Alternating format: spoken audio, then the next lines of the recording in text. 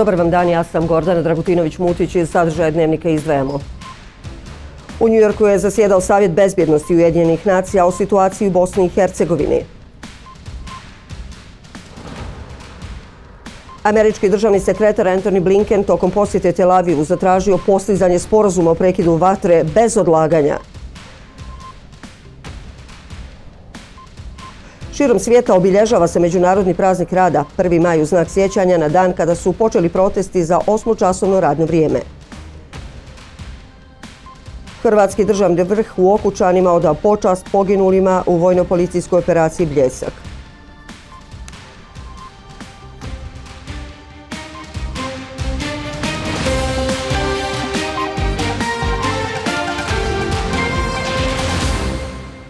U Njujorku je zasjedao Savjet bezbjednosti Ujedinjenih nacija o situaciji u Bosni i Hercegovini. Sastanak je zatražila Rusija nakon pisma koje je uputio člana predsjedništva Bosne i Hercegovine Željka Cvijanović, koja se video linkom obratila Savjetu. Na sastanku je govorio i visoki predstavnik u Bosni i Hercegovini Kristijan Schmidt. Član predsjedništva BiH Željka Cvijanović rekla je da su institucije Republike Srpske pogrešno predstavljene te da ovaj BiH entitet ne krši međunarodno pravo ni Dejtonski sporazum. Govoreći o rezoluciji o genocidu u Srebrenici, Cvijanović, koja poriče da je počinjen genocid, rekla je da se radi o očitom primjeru kršenja Ustava Bosne i Hercegovine i prijetnji stabilnosti BiH, dodavši da o rezoluciji nema konsenzusa. Visoki predstavnik u BiH, Kristijan Šmit, je rekao da zvaničnici Republike Srpske prijete ocijepljenjem i dodao da postoje svjesni napori da se dovede u pitanje mir i bezbjednost. Šmit je podsjetio da se Cvijanović priključila pozivima na blokadu administrativne linije entiteta. The Republic of Srpska does not Republika Srpska ne krši međunarodno pravo i dejtonski sporazum. Zagovara Ustav Bosne i Hercegovine i da svatilj naroda imaju mehanizam zaštite.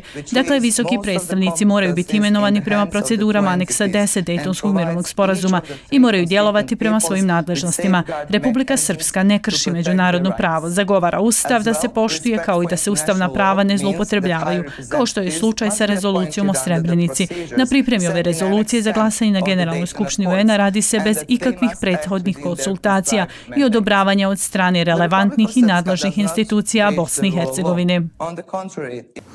I yet again wish to denounce that narrative that the resolution is a controversial issue. Ova rezolucija nije kontroverzna i od nje ne treba praviti kontraverzu. Cilj je da se izgradi održivi mir i podrži proces istine, pravde i pomirenja. Mi smo više nego otvoreni za diskusiju. Moramo govoriti o provedbi presuda Haškog tribunala i kako da zajednički gradimo bolju budućnost zajedno.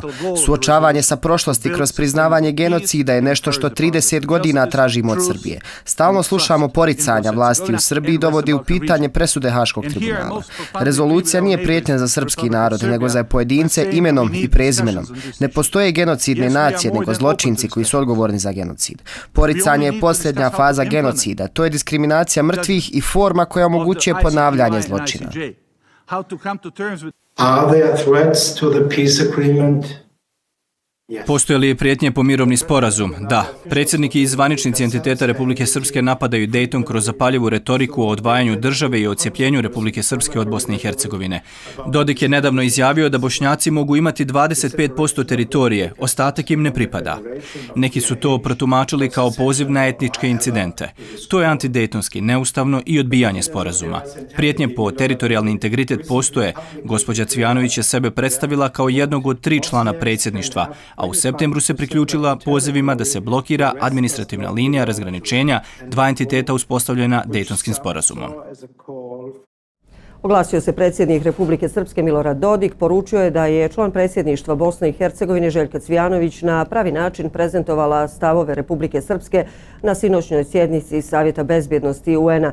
Dodik kaže i da je veoma čudno da je Savjet bezbjednosti dozvolio da se obrati i ambasador BiH pri UN-u Zlatko Lagumđija, jer navodi da Lagumđija nije mogao da nastupi bez usaglašenog stava predsjedništva Bosne i Hercegovine. Oglasio se i federalni ministar unutrašnjih poslova Ramo Isak, o kojem je u obraćanju govorila Cvijanovićeva. Ministar Isak je podsjetio da je Željka Cvijanović na crnoj američkoj listi i ponovio kako niko neće dozvoliti ocijepljenje Republike Srpske.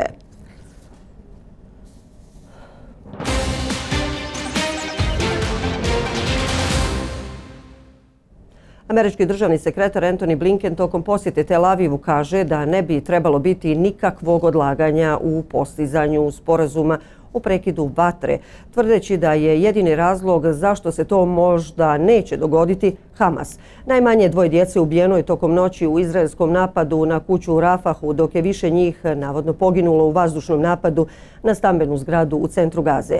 Premijer Benjamin Netanjahu je rekao da će izraelske snage ući u južni grad Gaze Rafah bez obzira na to da li će se postignuti sporazum o prekidu vatre s Hamasom. Američki državni sekretar Antony Blinken nalazi se u svojoj sedmoj posjeti od početka rata između Izraela i Hamasa. Prvobitno je posjetio Saudijsku Arabiju, zatim Jordan, a danas se nalazi u posjeti Izraelu, gdje se sastao sa izraelskim predsjednikom. Upravo ovdje u Jordanu vidimo direktnu rutu od Jordana do Sjeverne Gaze preko Ereza. Prve pošiljke polaze danas. I zapravo palete koje vidite upravo ovdje su ono što ide u Gazu, opet direktno iz Jordana. Jordanci rade izvanredan posao da ovo spoje. Mi podržavamo te napore, a onda ovo kreće mnogo efikasnije u gazu i prema ljudima kojima je to potrebno. Dakle, ovo je pravi i važan napredak, ali još treba uraditi više. Izraelski premijer Benjamin Netanjahu rekao je u utorak da Međunarodni krivični sud razmišlja o izdavanju naloga za hapšenje visokih izraelskih vladinih i vojnih zvaničnika kao ratnih zločinaca. Pozvao je svjetske lidere da se čvrsto suprostave nečuvenim napadima Međunarodnog krivičnog suda na inherentno pravo Izraela na samoodbranu.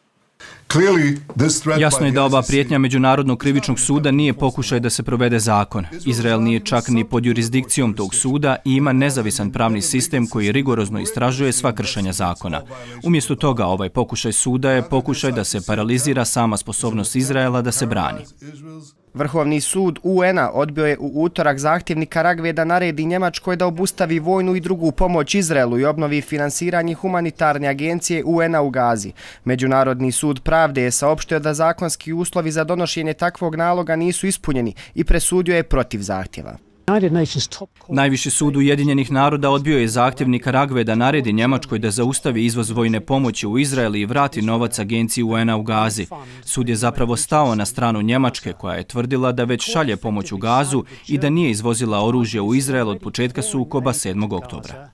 Blinken se susreo sa demonstrantima ispred hotela u Tel Avivu prije nego što je otišao u Jerusalem. Nakon toga Blinken se sastao sa izraelskim čelnicima, rekavši da je sada vrijeme za sporazum koji će osloboditi taoce i donijeti pauzu u gotovo sedam mjeseci rata u Gazi.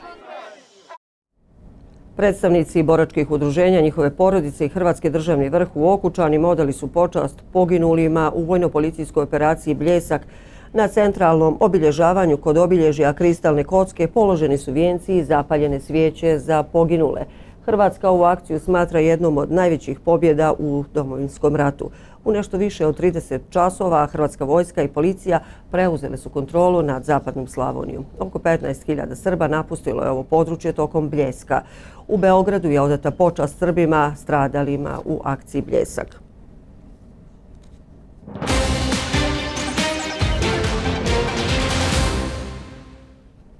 U znak sjećanja na dan eh, kada su radnici u Čikagu štrajkom i protestima počeli da se borbe za osmočasovno radno vrijeme, širom svijeta se obilježava Međunarodni praznik rada, 1. maj. Protesti su ove godine zabilježeni u nekoliko gradova u Bosni i Hercegovini. Sindikat metalaca Federacije Bosne i Hercegovine održao je protestnu šetnju zbog nezadovoljstva radnika u metalskom sektoru.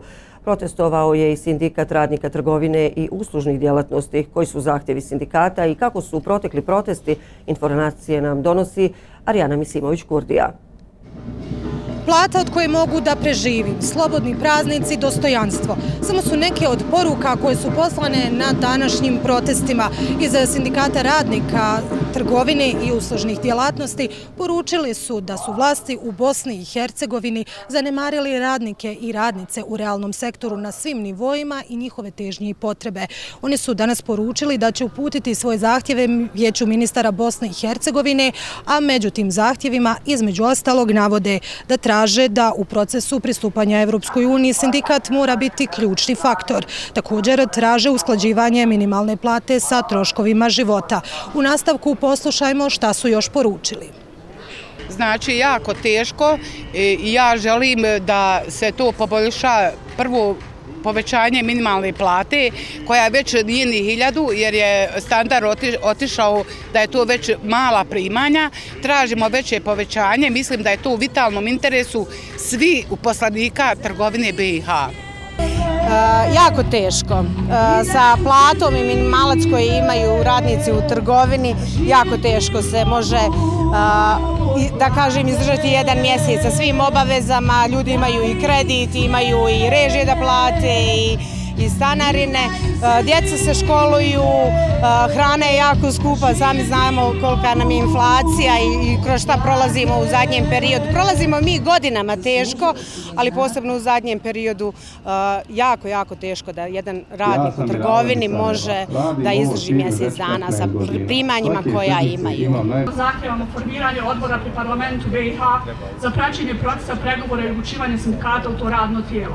Insistiramo na transparentnosti pregovora i da pristupni pregovori ne mogu dovesti do smanjenja nijednog nivoa radničkog prava. Također tražimo socijalni dialog i nećemo dozvoliti vlasti isključenja socijalnih partnera. Bitni zahtjevi prema ovom nivou vlasti su izrada i objavljivanje nacionalnog plana kolektivnog pregovaranja, po kojem 80% radnika mora biti pokrivena kolektivnim ugovorom u skladu sa direktivom EU o minimalnoj plaći. Protestovali su i iz sindikata metalaca Federacije Bosne i Hercegovine, traže hitno povećanje plata radnicima zbog, kako kažu, teškog materijalnog položaja metalskih radnika, pa poslušajmo i njihove zahtjeve. Razlog e, organizacije ovakvog načina provođenja Međunarodnog dana rada jeste nezadovoljstvo statusom radnika metalske industrije, Vi odlično znate da potrošačka korpa je dosegla visinu od 3000, čak i više 3000 maraka. Prosječna plata u federaciji je nešto oko 1300 maraka. Najniža plata u metalskom sektoru je oko 770 maraka. To su sve razlozi da damo svoj glas i bunt prema onima koji kreiraju našu sudbinu, uprkos tome što se hvali na sva usta kako smo mi dobri radnici, vada zato što punimo budžete. Najvažniji radnički praznik 1. maj za mnoge već odavno nije praznik u punom značenju te riječi, sve dok većina stanovnika razmišlja da li će moći omogućiti ručak za svoju porodicu. Arijana Misimović-Kurdija, BHT1, Sarajevo. Hvala Arijana a Savez sindikata Republike Srpske tradicionalno Međunarodni praznik rada obilježava protestnim okupljanjem u Banja Lučkom parku Mladen Stojanović. Na okupljanju predstavnici 15 granskih sindikata poslali su poruku da su radnici najvažnija karika i da radnik mora biti na prvom mjestu. Održana je i sjednica predsjedništva Saveza sindikata Republike Srpske. Iz Banja Luke izvještava koleginica Zorisa Vujmilović parku Mladen Stojanović ovdje u Banja Luci okupilo se nekoliko desetina predstavnika sindikalnih organizacija Saveza sindikata Republike Srpske, ali i radnika pojedinih preduzeća i organizacija. Naime, ono što je osnovna poruka sa ovog tradicionalnog skupa povodom 1. maja jeste da je potrebno u Republici Srpskoj urediti sistem plata s obzirom na to da je utvrđivanje minimalne plate od 900 maraka praktično izjednačilo radnika radnike sa e, visokom stručnom spremom i kvalifikovane radnike sa nekvalifikovanom radnom e, snagom. E, evo, poslušajte izjave predsjednice Saveza sindikata Ranke Mišić i predsjednika sindikalne organizacije Republike Srpske radnika u prosvjeti i kulturi. Želimo da imamo jednu demokratsko uređenje u kome će biti zagarantovana i dobra sigurna i e, pristojno plaćena radna mjesta. Želimo da ovim dokumentom postignemo da imamo jedan zdrav privredni rast, da imamo drugačiju situaciju kada su u pitanju socijalni fondovi, da imamo drugačiju situaciju kada su u pitanju pozicije penzionera u Republike Srpskoj. Dakle, ovo što mi radimo tiče se svih dakle, svih građana Republike Srpske. Naravno da će to ići teško, naravno da ćemo imati dosta otpora, prije svega od Unije poslodavaca, ali ima tu nešto i pozitivno, a to je da smo dobili novog predsjednika Unije koji u svojoj firmi ima sindikat, koji ima kolektivni ugovor u svom preduzeću i to je nešto što treba da nas ohrabruje. E, mi ne želimo samo da se borimo za bolji materijalni, socijalni status E, radnika, ne samo u obrazovanju nauci kulturne, nego uopšte radnika, nego i za bolje uslove rada. Možda je preče imati dostojanstven posao i imati dostojanstven odnos poslodavca, da ne kažem direktora ili onog ko upravlja u školi, evo reći u školi, e, nego imati 50 maraka veću platu. E, na tome moramo raditi i ponudit ćemo određena rješenja u toku, ajde kažemo, narednih mjesec, dva dana. Dakle, pored eh, toga da je potrebno utvrditi sistem plata, sindikalci su ponovo poručili da je neophodno raditi na poboljšanju položaja eh, radnika u Republici Srpskoj na smanjenju kršenja kolektivnih ugovora i generalno radničkih eh, prava. A što se tiče sistema uređenja plata, na tome će se raditi već i za praznika kada su najavili da će organizovati sastanke sa predstavnicima poslodavaca u Republici Srpskoj. Zorica Vojmilović, BHT1, Banja Luka. Hvala Zorice. Sindikat Solidarnosti danas na platovu ispred zgrade Sodasu u Tuzli organizovao je tradicionalno mirno protestno okupljanje pod motom Nije vrijeme za slavlje. Ovo je mjesto odakle su 2014. godine krenuli veliki radnički protesti koji su se ubrzo proširili na više gradova Bosne i Hercegovine i doveli do smjene više kantonalnih vlada decenijama sjede u parlamentima, u mjestarskim foteljama. Dakle, pogledajte sad turističke aranžmane u turističkim agencijama. Da li sebi običan radnik koji ima platu 600 maraka može priuštiti da ode na neku mondensku destinaciju sa platom 600-700 maraka? Naravno da ne može.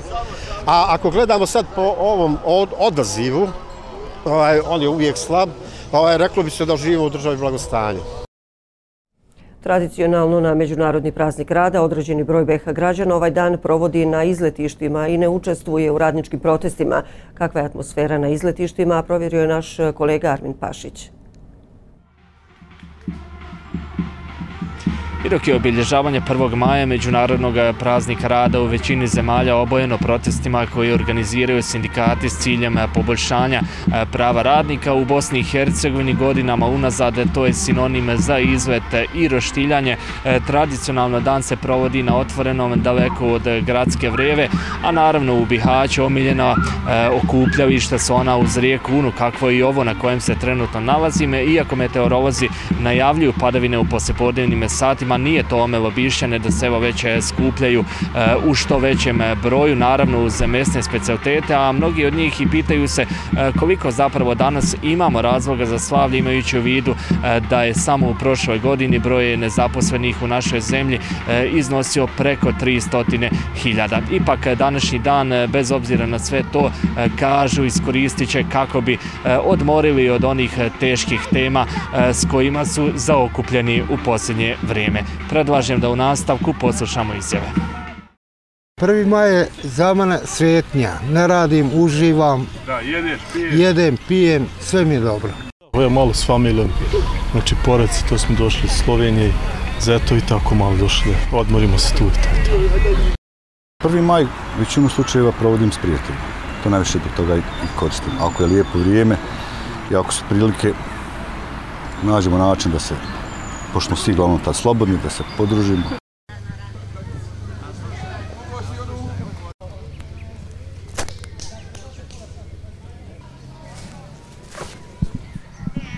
Često dođemo da proslavimo taj prvi maj, eto, ko može da dođe, skupimo se, uglavnom bunca fina, priroda odlična, kao i uvijek. Evo ovako, svake godine na tradicionalan način obilježavamo prvi maj, sa društvom, e, sa rodbinom i to okupimo se zajedno da proslavimo, da se podružimo u ovakvom prelijepom ambijentu gdje je sve na nivou. Evo danas smo se baš malo i više potrudili što se tiče pečenja jagnca. Imamo e, tradicionalni sataraš, roštilje, malo muzike, uglavnom ambijent je kompletan. Brojni su oni koji će neradnu sredu i četvrtak eh, spojiti sa eh, predstojećim vikendom, zbog čega se bilježe i gužve na graničnim prevozima kako na izlazu, tako i na samom eh, ulazu u Bosnu i Hercegovinu. Tokom noći na graničnom prevozu Maljevac kod Velike Kladuše na prevozak granice kažu nam čekalo se i do 3 sata. Slična situacija i na graničnom prevozu Izačić u Bihaću, ali i u ostatku naše zemlje. Iz Bihaća za BHT1, Armin Pašić. Hvala Armine. A Zeničane za praznik rada u ranim jutarnjim časovima probudili su zvuci prvomajske budnice i radničkih pjesama. Ova skoro stogodišnja tradicija nastala je kao poziv na buđenje i motivaciju radnika na rad, a postala je tradicija koja uveseljava ljude. Zajedno sa Duvačkim orkestrom bila je i naša ekipa. Zvuk radničke muzike i radničkih pjesama u Zenici, radničkom gradu, mogao se čuti jutros od 5 sati. Zvanično, prvomajska budnica, odnosno kamion Dovačkog orkestra zajedno sa muzičarima, krenuo jutros u 5 sati kroz Rudarsku ulicu i gdje god su prošli kvartovima i mahalama Zenice, rado su dočekani. Pa pogledajmo kakva je tu atmosfera bila danas.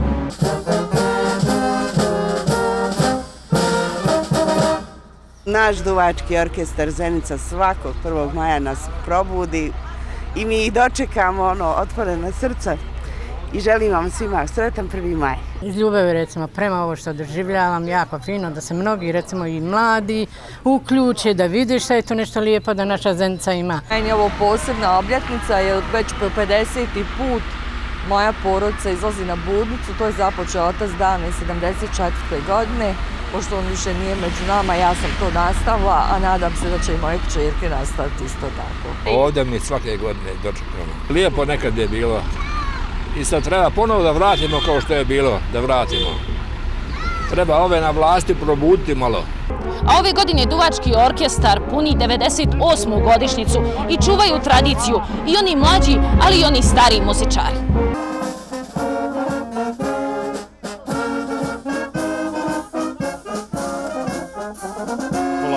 Približavamo tom velikom jubileju i eto, 98 tačnije u pitanju godina. Kao i svake godine tradicionalno, evo, izašli smo na prvomajsku budnicu, 21 muzičar je na kamionu, spremni smo da i ove godine zasviramo i probudimo naše sugrađane kojima ovom prilikom čestitam prvi maj, praznik rada. To je značajno za svaki narod, da ima svoju tradiciju, da njeguje tu tradiciju, što kažete da uđe u, kao, kao kultura, onaj, da se to zadrži. A osim u Zenici prvomajska budnica, danas se mogla čuti i u Kaknju i u Travniku, ali i Mostaru. Iz Zenici za BHT1, Elma Šut. Hvala Elma. Prvi maj koji se obilježava kao dan rada širom svijeta je prilika za sve radnike da traže svoje prava na ulicama. Protesti i okupljanja se održavaju širom svijeta, a između ostalog danas se održani u Južnoj Koreji i Turskoj. Na ulicama Seula i Istambula se moglo vidjeti različite pristup protestima. U Seulu je bilo dosta mirnije za razliku od Turske, gdje je čak došlo i do obračuna sa policijom.